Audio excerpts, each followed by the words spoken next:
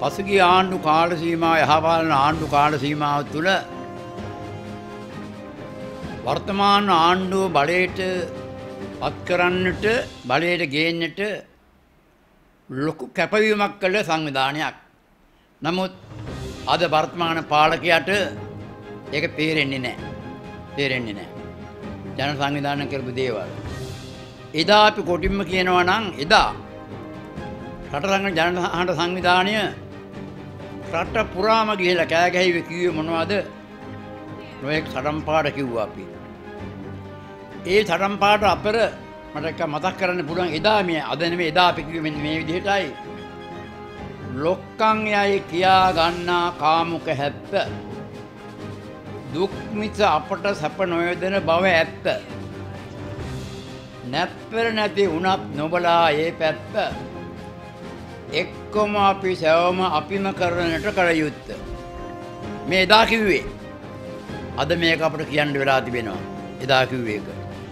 එදා මීටත් වඩා අපි දේවල් කිය කියා තමයි ජනතාව මේ වත්ව හරෝගෙන ඡන්දය ලබලා දුන්නේ. නමුත් අද වර්තමාන පාලක හරි මුරණ්ඩුවේ බුදුරජාණන් වහන්සේ දේශනා කළේ දස රාජධර්මෙන් යුක්ත මේ රට පාලනය කරන්න කියලා. දිච්ච විනිදුන අවවාද ඒකයි. මම හිතනවා වත්නම් පාලකයෝ දස රාජ ධර්මයවත් දන්නවද කියලා මට නම් දැන් කියන්න බැරි තත්ත්වයක් උදා වෙලා තිබෙන්නේ. මොකද ඒව හරියට ප්‍රගුණ කරලා ඒව හරියට කියවලා අත්දැකීම් ලබාගෙන මේ රට පාලනය කරනවා නම් මේ විනාශය කරාවේ අපටත් මේ වේදිකාවට ඇවිල්ලා මාධ්‍යවලට ඇවිල්ලා මේවා කියන්න සිද්ධ වෙන්නේ නැහැ. අද අපට කියන්න සිද්ධ වෙලා තියෙනවා. මේ වර්තමාන ආණ්ඩුව බඩේට පත් කරන්න අපි වෙච්ච මාන්ත නිසා අද හරි වේදනාවකින් අපි ගත කරන්නේ.